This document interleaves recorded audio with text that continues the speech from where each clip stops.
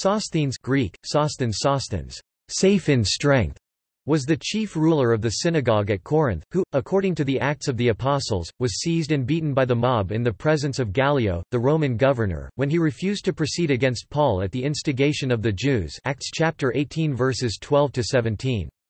The motives of this assault against Sosthenes are not recorded.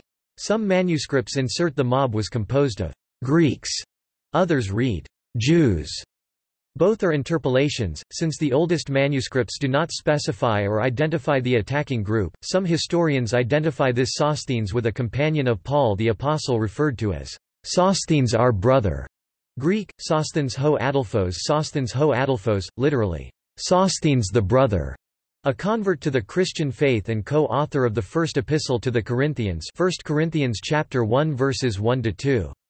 It is not clear whether this identification is tenable. According to Protestant theologian Heinrich Meyer, Theodoret and most commentators, including Flatt, Billroth, Ewald, Mayer and Hoffman, identify Sosthenes with the person so named in Acts chapter 18 verse 17, but this is rightly denied by Michaelis, Pott, Ruckert, and de Wette. It has also been suggested that Sosthenes is a later name of Crispus, who is mentioned in Acts chapter 18 verse 8 and 1 Corinthians chapter 1 verse 14. He is traditionally listed among the 70 disciples of Luke chapter 10 verse 1. Topic: References. Topic: